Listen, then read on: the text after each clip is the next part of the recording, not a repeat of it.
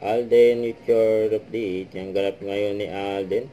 Yung post siya ni Daddy Babe sa kanyang Instagram. Yung kumakain nga si Alden no, ng corn dog. Siyempre kasama ang family 4 person. Yung bonding nila. Ngayon Sunday. Dahil family day. Tuwing Sunday. Yun po, nag-tiktok si Risa oh. Kulit ng reaction ni Alden niya sa likod eh. Napanood yung TikTok ni Risa.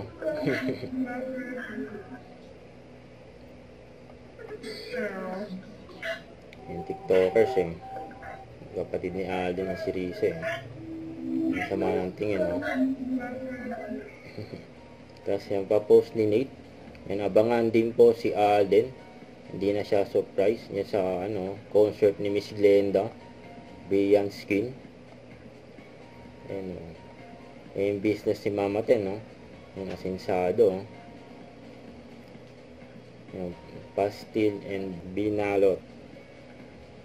Ayan, binilakot. Huwag kalimutan mag-subscribe. Click ang notification bell para lang update. Ito po ang Nature Reaction Vlog. Bye guys. Thank you for watching.